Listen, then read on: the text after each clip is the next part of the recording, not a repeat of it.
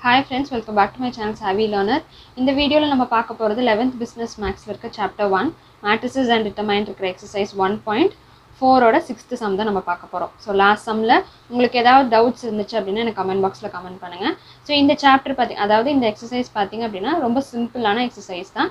But இந்த four five six seven so இந்த sums மட்டும் கொஞ்சம் நல்லா கேல்குலேஷன்ஸில் வந்து நல்லா கான்சென்ட்ரேட் பண்ணி போடுங்க. மற்றபடி ஈஸியான சம்ஸ் தான். ஸோ இதில் வந்து நம்ம கொஸ்டின் என்னென்னு ஃபஸ்ட்டு பார்த்துட்டு அதுக்கப்புறம் சம்ஸ் எப்படி போடணும்னு உங்களுக்கு எக்ஸ்பிளைன் பண்ணுறேன் ஸோ நம்ம ஃபோர் அண்ட் ஃபைவ் எப்படி போட்டோமோ அதே மெத்தட் தான் நம்ம இந்த சம்மும் நம்ம போட போகிறோம் பட் வந்து சின்ன கேல்குலேஷன்ஸில் மட்டும் நம்ம எப்படி போடணும் அப்படின்றத மட்டும் நல்லா நம்ம கான்சென்ட்ரேட் பண்ணால் போதும். இந்த இந்த எக்ஸசைஸ் வந்து ரொம்ப ஈஸியாக இருக்கும். So question படிச்சிடலாம் you are given the following transaction matrices for two sector economy so என்னென்ன கொடுத்துருக்காங்க? ரெண்டு செக்டார் கொடுத்துருக்காங்க. ஸோ ரெண்டு செக்டார் ரெண்டு செக்டார் கொடுத்தனால அதனோட சேல்ஸ் ஒன் அண்ட் டூ கொடுத்துருக்காங்க. ஸோ ஃபஸ்ட்டு செக்டாரோடது ஃபோர் த்ரீ அதே மாதிரி செகண்ட் செக்டாரோடது ஃபஸ்ட்டு சேல் ஒன் வந்து ஃபைவ் ஃபைவ் சேல் டூ வந்து ஃபோர் ஸோ ஃபைனல் டிமாண்ட் எவ்வளோ கொடுத்துருக்காங்கன்னா தேர்ட்டீன் த்ரீ கொடுத்துருக்காங்க. க்ராஸ் அவுட்புட் வந்து டுவெண்ட்டி டுவெல் கொடுத்துருக்காங்க. ஸோ ஃபஸ்ட்டு என்ன சொல்லியிருக்காங்க? Right the technology matrices so first நம்ம மேட்ரிசஸ் எழுதணும். அதை பி ஈக்குவல் டு அப்படின்னு நம்ம போடுவோம்ல. ஸோ அதை நம்ம கண்டுபிடிக்கணும். Next determinant the output when final demand for the output sector one so first sector இருக்குல்ல அதை தான் சொல்கிறாங்க ஸோ அந்த செக்டார் ஒன் வந்து alone increases to twenty three so இந்த இதுதான் வந்து final demand it increases to twenty த்ரீயாக இருந்துச்சுன்னா என்ன ஆகும் அப்படின்றது தான். ஸோ இந்த இது மந் இது மட்டும் வந்து த்ரீ இருக்கும். வெறும் இந்த ஃபஸ்ட் ஒன் மட்டும் வந்து இன்க்ரீஸ் ஆயிருக்கு டுவெண்ட்டி த்ரீல அப்படின்னு. அப்போ நம்மளோட ஃபைனல் டிமாண்டுன்னு வந்தாலே அது வந்து நம்மளோட டி அப்படின்றது பாயிண்ட் பண்ணுது. ஸோ டுவெண்ட்டி த்ரீ த்ரீ தான் நம்மளோட டி ஆன்சர் இப்போ ஃபஸ்ட்டு நம்ம வந்து technology matrices B equal to அப்படின்னு நம்ம கண்டுபிடிப்போம்ல அதை தான் நம்ம ஃபஸ்ட்டு பண்ண போகிறோம் ஸோ அது நம்ம கேல்குலேட் பண்ணுறதுக்கு முன்னாடி ஃபஸ்ட்டு நம்ம ஏ ஒன் ஒன் வந்து ஃபோர் இங்கே மேலே கொடுத்துருக்காங்களா ஃபோர் இது வந்து ஏ இது வந்து ஏ ஒன் ஒன் இது ஏ ஒன் டூ இது A two one A two two okay so இது வந்து நம்மளோட எக்ஸ் ஒன் இது வந்து நம்மளோட எக்ஸ் டூ ஸோ அதுதான் நான் கீழே எழுதியிருக்கேன். ஸோ பி ஒன் ஒன் எப்படி கண்டுபிடிக்கணும்? A one one divided by X one so A one வந்து இங்கே என்ன கொடுத்துருக்காங்க? Four divided by X one வந்து டுவெண்ட்டி ஸோ அதே மாதிரி இதை சிம்பிளிஃபை பண்ணோம் அப்படின்னா நமக்கு ஒன் பை ஃபைவ் வரும். ஸோ அடுத்தது பி ஒன் டூ கொடுத்துருக்காங்க. பி ஒன் டூ எப்படி போடணும்? A one two divided by X two கொடுத்துருக்காங்க. ஸோ எக்ஸ் டூ வந்து இங்கே என்ன? சாரி ஏ ஒன் டூ வந்து நமக்கு இங்கே என்ன கொடுத்துருக்காங்க? த்ரீ பை டுவெல் அப்போது ஒன் பை ஃபோர் ஸோ அதே மாதிரி ஏ டூ ஒன் அப்படின்னு வந் வந்திருக்கிறது ஆன்சர் நம்பர் பார்த்தீங்கன்னா ஃபைவ் வேல்யூ எக்ஸ் ஒன் வந்து டுவெண்ட்டி அப்போது one by four next A two two divided by X two வந்து four divided by twenty so four divided by twenty will give you sorry twenty வராது. So four divided by twelve will give you answer one by three so நம்ம எப்படி B எழுதணும் கொடுத்துருக்காங்க? B one one B one two B two one B two two so இந்த ஃபார்மேட்டில் தான் எழுதணும். So B one பார்த்தீங்கன்னா one by five B one two வந்து one by four B two one வந்து one by four B two two வந்து one by three so நம்ம technology matrices நம்ம கண்டுபிடிச்சாச்சு. இப்போ நெக்ஸ்ட்டு நம்ம என்ன பண்ண போகிறோம் ஐடென்டி மேட்ரிசஸோட நம்ம மைனஸ் பண்ண போகிறோம் ஸோ இப்போ நம்ம ஐடென்டி மேட்ரிசஸோட நம்ம மைனஸ் பண்ண போகிறோம் ஸோ ஐடென்டி பார்த்தீங்கன்னா நமக்கு டூ இன்ட்டு டூனால ஒன் ஜீரோ ஜீரோ ஒன் எடுத்திருக்கேன்.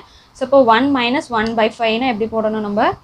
One by one by five வந்துச்சு இந்த ஃபைவ் இங்கே போயிடும் அப்போ five one by five gives you four by five கரெக்டாக ஃபோர் பை ஃபைவ் ஸோ இந்த ஃபைவ் இங்கே போச்சுன்னா five minus one five so five minus one வந்து ஃபோர் டிவைட் பை ஃபைவ் ஓகேவா ஸோ இப்படி தான் நம்ம போடணும். அப்போது ஃபஸ்ட்டு வந்து ஃபோர் பை ஃபைவ் நெக்ஸ்ட் இங்கே வந்து ஜீரோ தான். ஸோ அதனால் வெறும் சிம்பிள் மட்டும் one by four minus one by four இங்கேயும் ஜீரோனால மைனஸ் ஒன் பை ஃபோர் இங்கே வந்து ஒன் இருக்கிறனால இப்போ one minus one by three அப்போ இந்த த்ரீ இங்கே போயிடும் அப்போது three minus one divided by three so two by three answer two by three so நம்ம ஐ மைனஸ் பி கண்டுபிடிச்சாச்சு. ஸோ அதை நம்ம என்ன பண்ண போகிறோம் டிட்டமைண்டில் நம்ம போட போகிறோம் ஸோ அதுதான் அடுத்தது.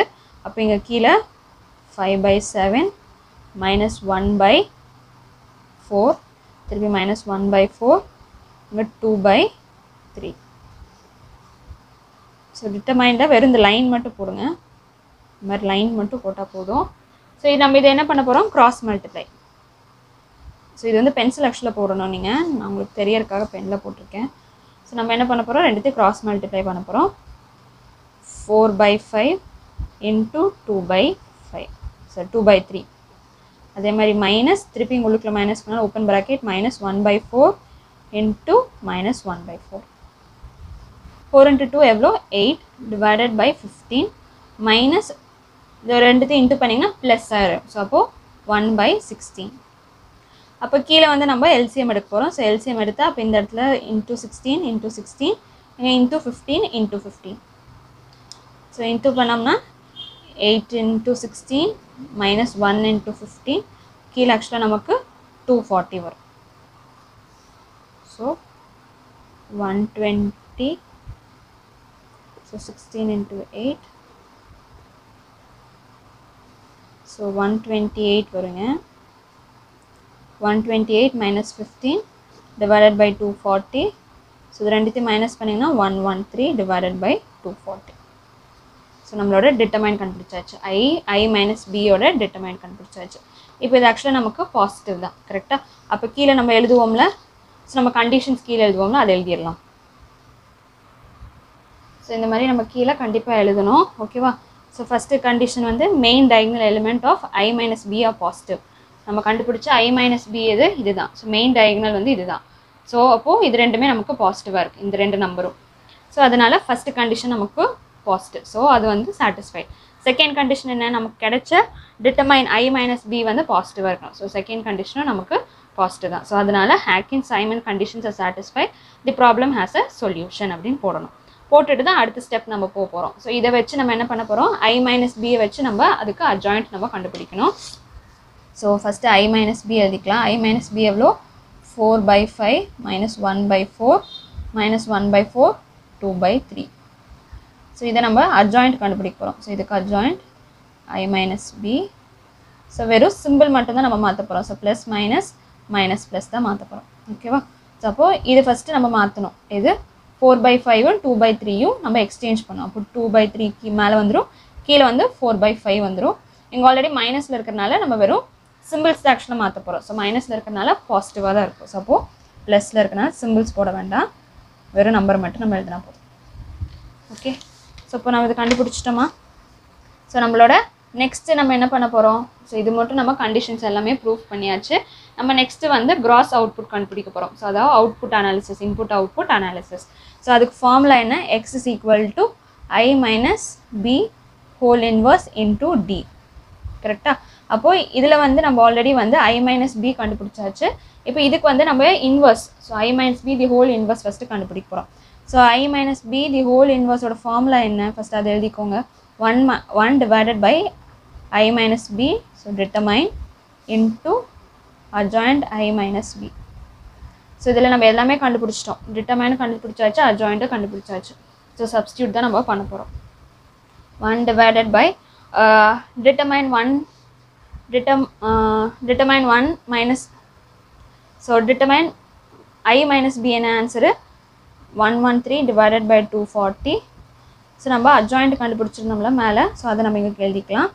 Two by three one by four one by four four by five so இதில் என்ன ஆகும்? இந்த டூ ஃபார்ட்டி அப்படின்றது நமக்கு மேலே வந்துடும் அப்போது two forty divided by one one three so இது அப்படியே தான் எழுதுவோம். Two by three one by four one by four four by five so இதில் நம்ம I my I minus B the whole inverse கண்டுபிடிச்சாச்சு. இப்போ அடுத்தது நம்ம என்ன பண்ண போகிறோம் இந்த எக்ஸ் ஃபார்மில் இருக்குல்ல? ஸோ இந்த எக்ஸ் ஃபார்ம்லாம் நம்ம சப்ஸ்டியூட் பண்ண போகிறோம் ஸோ ஆல்ரெடி உங்களுக்கு நான் டி சொன்னேன். டி வந்து என்ன வருது இப்போ நமக்கு? டி வந்து இன்க்ரீசஸ் டூ நமக்கு டுவெண்ட்டி த்ரீயாக இன்க்ரீஸ் ஆயிருக்கு. ஸோ ஸோ நமக்கு ஃபஸ்ட்டு கொஸ்டினில் பார்த்தோமா? இன்க்ரீஸ் ஆயிருக்கு அப்படின்னு பார்த்தோமா? ஸோ இதுதான் நம்மளோட D so twenty three twenty three three தான் நம்மளோட டி ஸோ அதை நம்ம சப்ஸ்டியூட் பண்ண போகிறோம் so X is equal to இது இன்வர்ஸ் ஃபஸ்ட் எழுதிக்கலாம். Two forty divided by one one three open bracket two by three one by four one by four four by five so into twenty three three so நம்ம last சம்மில் பண்ண மாதிரியே தான் நம்ம பண்ண போகிறோம் இதுலேயும்.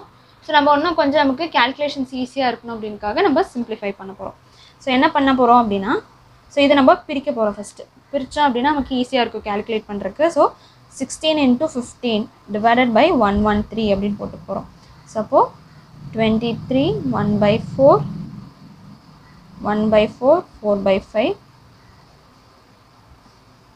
so இது புரியணுக்காக தான் உங்களுக்கு தனியாக இந்த ஸ்டெப் நான் உங்களுக்கு போட்டு காட்டுறேன். இல்லைன்னா நம்ம டேரெக்டாகவே சப்ஸ்டியூட் பண்ணிக்கலாம். அப்போ நம்ம என்ன பண்ண போகிறோம் இது ஆக்சுவலாக நான் வந்து உள்ளுக்கில் வந்து மல்டிப்ளை பண்ண போகிறோம் அப்போ one by one one three அப்படியே வச்சுட்டு sixteen into fifteen into two by three sixteen into fifteen one by four sixteen into fifteen into one by four sixteen into fifteen into one by five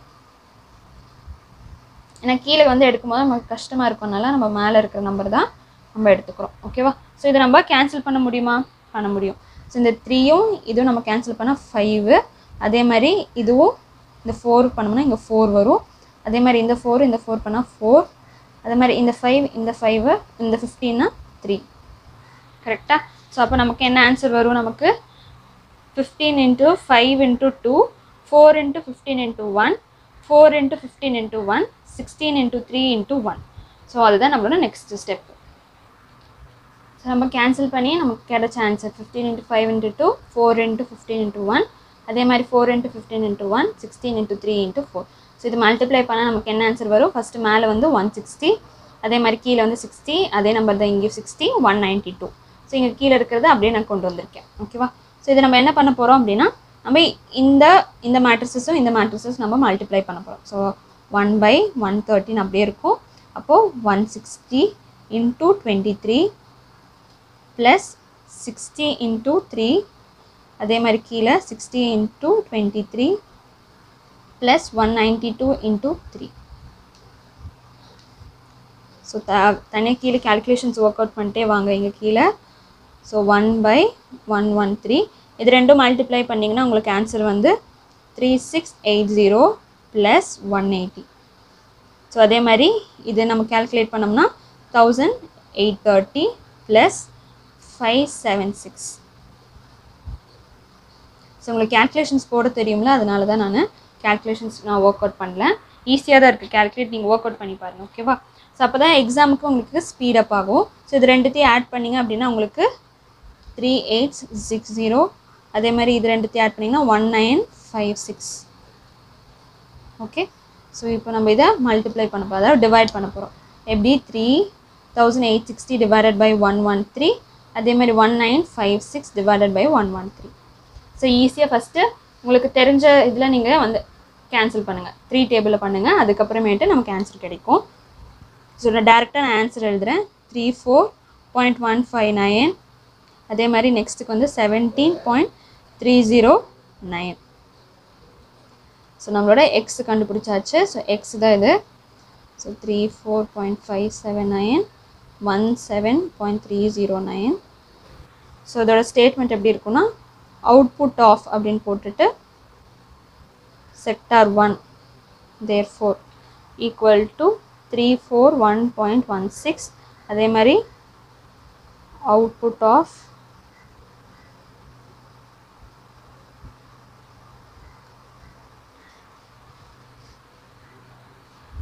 so இந்த மாதிரி நம்ம கீழே தனியாக எடுத்து எழுதுவோம்.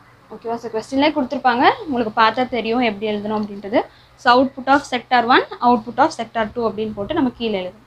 So இவ்வளோ தான் இந்த சம்மு உங்களுக்கு வெறும் இந்த கேல்குலேஷன்ஸ் மட்டும்தான் உங்களுக்கு கொஞ்சம் கஷ்டமாக இருக்கும். மற்றபடி இந்த சம் ரொம்ப ஈஸி தான். ஓகேவா ஸோ அட்லீஸ்ட் வந்து ஒவ்வொரு டைம் போடும் போது கேல்குலேஷன்ஸ் ஒர்க் அவுட் பண்ணி பாருங்கள் த தனியாக இங்கே ஒர்க்கிங் நோட்ஸ் மாதிரி போட்டு நீங்கள் எழுதுங்க ஓகேவா ஸோ இது உங்களுக்கு புரிஞ்சிருக்கா இல்லையா அப்படின்றது எனக்கு கமெண்ட் பாக்ஸில் கமெண்ட் பண்ணுங்கள் ஸோ நெக்ஸ்ட் சம் நெக்ஸ்ட் வீடியோவில் பார்க்கலாம். Stay tuned for more videos keep வாட்சிங் கீப் லேர்னிங் தேங்க்யூ